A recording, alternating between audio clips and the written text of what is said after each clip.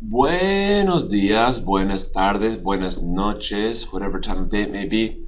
Hey, got a uh, got another video here that I'm going to recycle. I'm going to pull out an old podcast and take pieces of it to give you your quick lesson on ser and estar, two verbs that mean to be. That's the next thing we have in this unit. We've discussed reflexives, getting up, getting ready, um, our daily routine. Now it's time to talk about the differences between ser and estar. So here goes the recycled video. Um, this podcast, like I said, is about two verbs, ser and estar. They both mean to be. And it can be pretty confusing for English speakers because we pretty much just have uh, we just have one verb that we use for to be. And uh, every year I, I ask my Spanish 2 students if they can tell me the difference between ser and estar. When do you use ser? When do you use estar? And it's funny because every year the, the reaction is the same. You know, they they um, usually regurgitate the easy to teach responses that they heard from their first year teachers. For example, ser is permanent and estar is temporary. You use ser when you're talking about things that are permanent, and you use estar when you talk about things that are temporary. Uh, other students will fumble over an acronym or list of occasions that a teacher made them memorize. Uh, one of those is is place for estar, place standing for position, location, action, condition, emotion uh, ser being time or trait, occupation origin, or possession profession. Now those those two techniques. Well, the first technique works well for me, uh, just something basic like temporary or permanent. But the problem is, is there were so many um, exceptions. You know, so many ex- exceptions to that that I would be sitting there using it, and I'd stop and I'd think, well, wait a second, is this temporary or is it permanent? You know, I am a professor well, you know, I might change my job some days, so that could be temporary. Or, you know, uh, one that students love is um, soy muchacho, I'm a boy. And somebody else will, you know, undoubtedly make the comment of, well, that could be changed too, so that could be temporary. So, you know, that doesn't really work too well. Uh, you know, language is fluid. You know, there there are exceptions, there are changes, but those techniques just really didn't work for me. Um, what I'm going to do today is I'm going to give you a less concrete example of the differences between ser and estar, something a little bit more abstract, something that worked for me. It's just something that I kind of figured out one day when a light bulb went on when, when I was reading. Um, I was reading something that talked about the ser humano, the ser humano. And I'm like, humano, I know that that means human, and I know that ser means to be, but it was using it as a noun. They were saying, the human ser, like the human to be, and then it clicked. The human being, human being, ser was being used as being. And that kind of got me thinking more about the use of ser, how when it's something that's a part of your being, something a part of who you are or what you are. And then the next thing that triggered in my head was the idea of los Estados Unidos, the United States, and how estados, states, comes from the verb estar, uh, which means to be. So the state, state of being. Okay, we'll talk a little bit more about that in just a minute. Before we get, before I get too much off track, too, uh, too distracted here with my ramblings over moments of enlightenment, enlightenment in my learning of Spanish. Um, I'm going to just do a quick review of um, of to be in English. As you know, we, we do conjugate in English. Some of my students will say, "No, we don't conjugate in English. I hate I hate Spanish because you have to conjugate." And I tell them, "Well, you know, we conjugate in English too." For example, I am lazy. You are lazy. He is lazy. She is lazy. We are lazy. Am, are, is. Those are all forms. Those are all conjugations of the verb English verb to be. And so, likewise, in Spanish, we've got conjugations, but they typically follow a pretty uniform pattern. Um, you'll notice that am lazy, are lazy, is lazy, they look nothing like to be. And some people might argue the conjugations for ser don't look too much like the verb ser, but we'll go over them. The Spanish equivalent of those Yo soy perezoso, tú eres perezoso, él es perezoso, ella es perezosa, nosotros somos perezosos, Ellos son perezosos. Okay, so we see that like in English, ser changes each time. Soy, eres, es, somos, son. And if you're into the um, the vosotros, if you're from Spain and you're into the vosotros, you've got the sois. uh, yo soy, tú eres, él es, ella es, usted es, nosotros somos, vosotros sois, ellos, ellas, ustedes son. And I guess if you were from Spain, you'd probably prefer for me to say perezoso perezosa instead of perezoso. But, you know, that's just neither here nor there. Eh, whatever. All right, so here we go. I've got a couple questions for you. Um, respond to the question using the verb. For example, if I were to ask you, ¿Eres estudioso? Now, of course, if you're a girl, I'd be asking you, ¿Eres estudiosa? So there's your question. ¿Eres estudioso? What's your answer?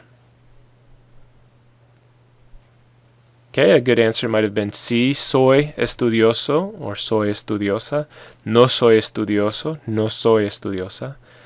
One mistake some people make when answering questions is they'll just take the verb that they were asked and just mirror it, say it again. For example, if I were to say, ¿Eres estudioso? Sí, eres estudioso.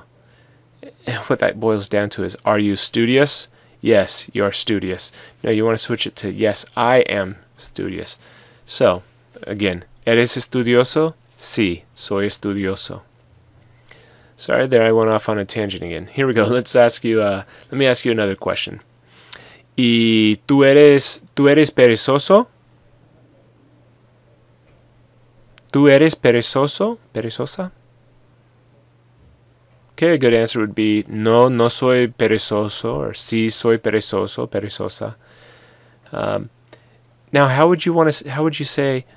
I am not lazy, I am very hardworking. No, I am not lazy, I am very hardworking. No, no soy perezoso, soy muy trabajador. Or no, no soy perezosa, soy muy trabajadora. Okay, got a, got one more here for you. Now let's do two more. Es tu hermano no, let's do it. Let's make it feminine so I don't have to uh, change the endings here or anything. ¿Es tu hermana muy perezosa?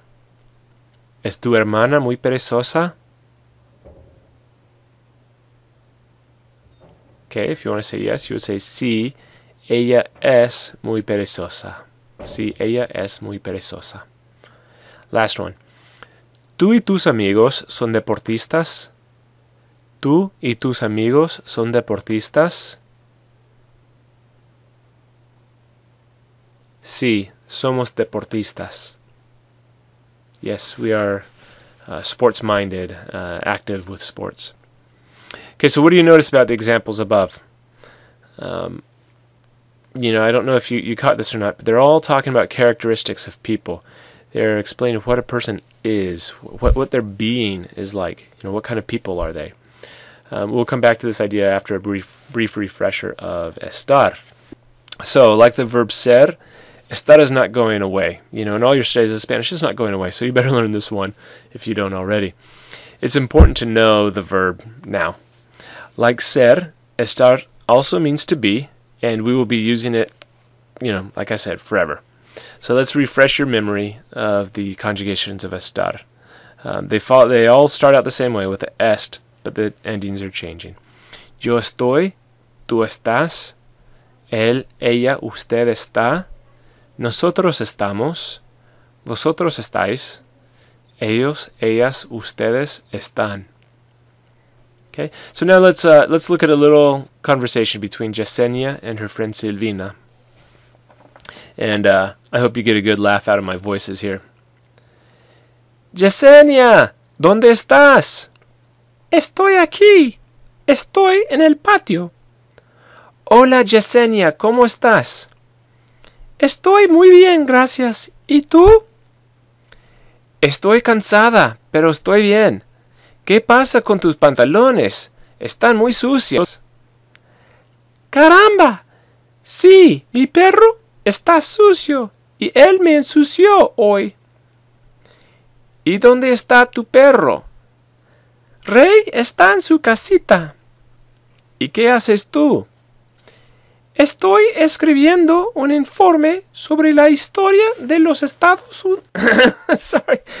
There. De los Estados Unidos de América. Okay, hopefully you're able to get past the voice and kind of notice here. ¿Dónde estás? Where are you? Estoy aquí. I am here. Estoy en el patio. Um, ¿Cómo estás? How are you? Estoy muy bien. Estoy cansada. Estoy bien. Uh, mi perro está sucio. Um, ¿Dónde está tu perro? Where is he? Uh, está en su casita. Okay. So you might have noticed that it's used in a lot of different ways in this example. Um, we're talking about where where things are, how things are. we even talked about, like I mentioned earlier, los Estados Unidos.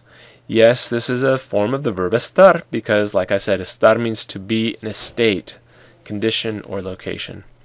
Okay, with this with this brief overview of the two, now let's now let's get more into comparing them. Um, some teachers and learners of Spanish will try to, like I said, oversimplify these, um, saying that ser is permanent and estar is temporary, and this this can help you get started with it. Um, this is often true. It's not always the case, though. Soy joven, for example, means I am young. Now, I won't always be young. I might act it, but I won't always be young. But we use ser when we talk about soy joven because it identifies what I am made of, what my being is at this moment. Okay, and this is where we come into that little story I told you earlier about when I realized that, hey, ser is part of your being, and estar is state or condition or location, something that you're in a state or condition of or location of, whereas ser, it's actually a part of your being, what something is composed of, what it's made of. Now, if you are into the lists, if you do like to see, well, when is it used? Basically, ser uh, is to be, as in to be a part of one's being. Physical attributes, profession, where somebody or something is from, religion, etc. For example, soy bajo, soy alto.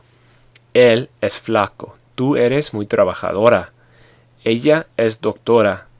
¿Usted es budista? Nosotros somos de Oklahoma.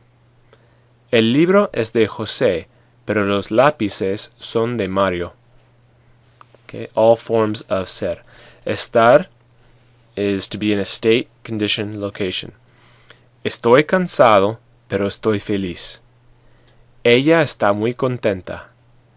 El libro está en mi mochila. Los lápices están en la mochila de Mario.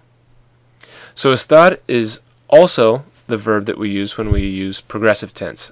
Uh, if you haven't learned these yet, don't worry, you will. Uh, I am talking, present progressive. Uh, estoy hablando. Estoy hablando. I am talking. Estoy hablando. He is eating. Él está comiendo. He is is the él está, and then comiendo, eating. So, to be or not to be, we hope that there is no longer a question between the two. Uh, that's the end of this podcast, but I am going to keep talking uh, just for a minute because some of you may enjoy that acronym I told you about. Um, so I, I, will I'll go ahead and tell you something here to to try to keep the two straight if you are into lists um, to tell them apart. So here's your little bonus material. Estar, uh, place. Word is the acronym is P L A C E. We use estar when we're talking about position, location, action, condition, or emotion. Miguel está en su casa. He is in his house. Um, ser, we use top, T O P. Uh, that's for time or trait. Um, for example, son las dos, son las tres, es la una. Occupation or origin, soy profesor, él es ingeniero. Um, origin, soy de California. Okay. Ella es de Nueva York. Uh, possession, profession. Esta blusa es de ella. It belongs to her. Okay, so once again, estar is P L A C E, place, position, location, action, condition, emotion. Ser is T O P, time trait, occupation origin, possession profession. Okay, that one was a doozy, a little long but thorough. Those of you that are my students, I want you to write down three sentences, two using one of the verbs, one using another one, and when we get back together, we'll discuss which verb you used and why we used it, and make sure that we're all good with this. Hasta luego.